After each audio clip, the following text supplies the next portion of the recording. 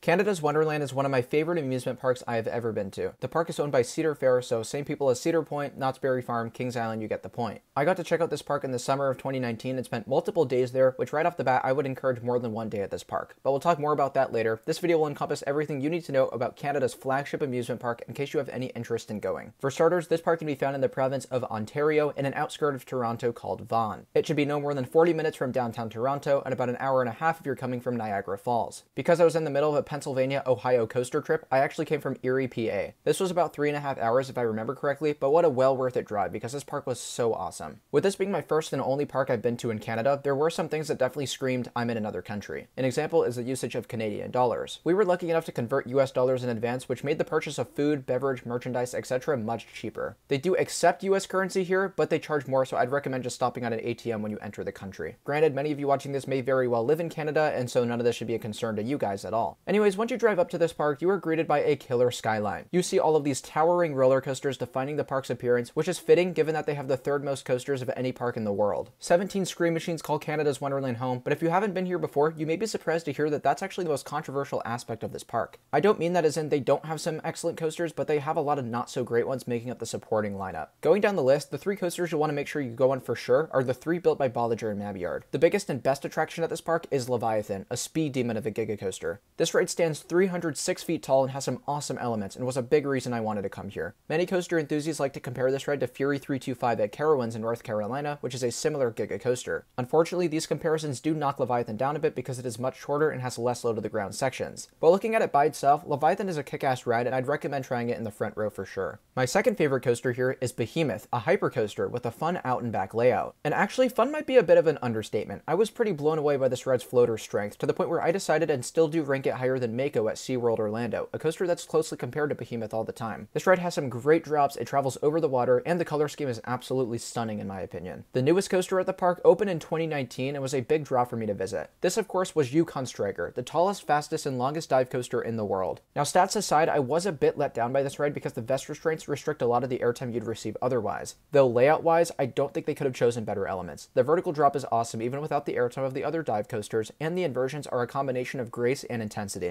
After the top three, the coaster lineup dwindles out quite a bit. The general consensus is that Vortex, the park's old suspended coaster, is the next best thing. And actually, to be fair, this is a pretty fun ride. It opened in 1991 and has some really fun swooping turns complemented by its swaying vehicles. Though still, I tend to have different opinions for spots 4 and 5 at this park. I personally had a lot of fun on their two wooden coasters, Wilde Beast and Mighty Canadian Minebuster. The reason this is strange is because these are unanimously considered to be some of the roughest wooden coasters in the world, but I ended up with several rides on each and really didn't think they were rough at all. Wilde Beast was built by Philadelphia Toboggan Coasters in 1981 and is reminiscent of Grizzly at King's Dominion in Virginia. Funny enough, Mighty Canadian Minebuster was built by the same company in the same year, but offers a differing ride experience with its out and back series of elements. Now, I do think having two classic Woodies aren't necessary, especially if they aren't loved by most. So what I'd like to see done is giving Wilde Beast the RMC treatment. Rocky Mountain Construction is a company known for transforming old wooden coasters to smooth modern hybrid coasters, and it would be perfect for this park. If top tier coasters is something people want to see more of here, that is a great way to do it. After this, they have a decent Premier Rides family coaster. This is called Backlot Stunt Coaster. It has some okay theming, a pretty good layout, but doesn't strike me as a good enough filler coaster to hold up the whole lineup. After these seven is where the collection of coasters really starts to tumble down, and that's concerning when you have 10 more on offer. Bat is a Vekoma Boomerang, not a particularly bad one, but you can find these all over the place and most don't like them. Dragonfire, not too far away, is an old Arrow Dynamics looping coaster, which again is an okay ride, I just don't know why it's still here. It seems like maintenance costs would probably outweigh ridership. Flight Deck is a notorious Vekoma SLC, and I can confirm that it's pretty bad. Maybe not as bad as I was expecting, but it's not a pleasant coaster by any means. The same can definitely be said about its next door neighbor, Time Warp. This Vekoma Volare coaster is atrocious. It has awful head restraints, and you ride like you're trapped in a cage. I've now had the unfortunate opportunity of riding all three Volare coasters in North America, and I think this is my least favorite one. Then Fly is a Mack Wild Mouse coaster, actually not a bad ride at all, but it's pretty mild and doesn't do a whole lot for me personally.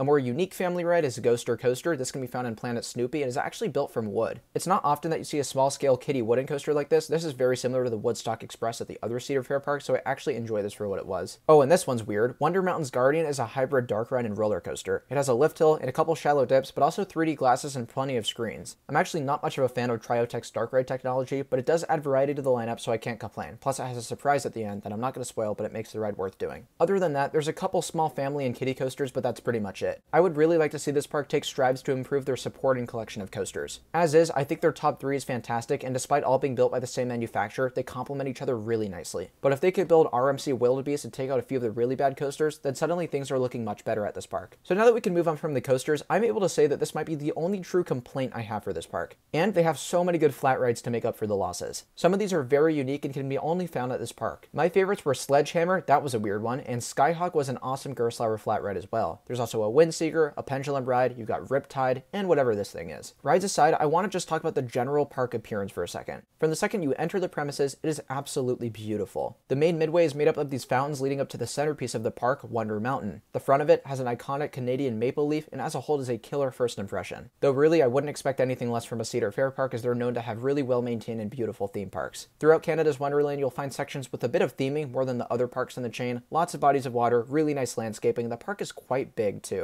I thought the appearance and scale of this place along with the atmosphere had a lot of resemblance to Cedar Point in Ohio. Some of my favorite sections were Medieval Fair, this is the most themed section of the park, and it is where you'll find Leviathan. I also liked International Festival, it has some pretty good landscaping and rides everywhere you look. Oh, and this park's kids area is really well done. Well, let me rephrase that because I actually have two side by side. Planet Snoopy, though, is a reoccurring area throughout the Cedar Fair parks, but I'd argue this one is my favorite that I've been to so far. They have a fun dark ride here called Boo Blasters and a handful of small coasters and flat rides. I think this park nailed their appearance. I have absolutely no complaints there. They also have other pretty typical Cedar Fair qualities, good operations, good food, nice employees, and pretty much just good everything. I really think atmosphere is one of this park's strong suits. It is such a nice park to just walk around and spend a couple days at. Now, if you're a roller coaster enthusiast and are coming here to pick up your 17 coaster credits, you're gonna need more than one day, especially if you're interested in the flat rides, shows, and oh yeah, they have a water park included with admission. I didn't actually ride anything in the water park, no no splash works, but I did take a walk inside and saw some pretty cool slides that may be of interest for water park fans. With this much on offer, I just don't think it's possible to do everything in one day, especially because this is one of the highest attended parks out there. If you look at this report done by Business Insider, Canada's Wonderland is the highest attended seasonal amusement park in North America. Take it from a guy who spent two days here, both of which were quite busy, and even I wish I had longer. Unlike Cedar Point, this park doesn't have a resort atmosphere though, since there's no hotels or amenities on site. It's really just a massive traditional amusement park. So what we did is we settled with a hotel 15 minutes away, which did the job just fine, and we were back at the park the next morning. So to just kind of wrap things up, Canada's Wonderland is a park that I could not recommend more. On a scale from 1 through 10, it easily gets a 9 in my opinion. I just wish they could improve their supporting coaster cast, which is kind of important since most of you guys watching are coaster enthusiasts. But other than that, they do pretty much everything fantastic. So let me know what you think if you've been to this park before. If you haven't had the chance to visit, I'd be curious if it's on your bucket list or if you have plans to visit in the future. If you enjoyed today's video, I'd also appreciate it if you could leave a like and subscribe down below. Feel free to check out my Discord server that was created by a bunch of fans of the channel. A link will be in the description. Thank you all so much for watching, and I'll see you very soon. Bye guys.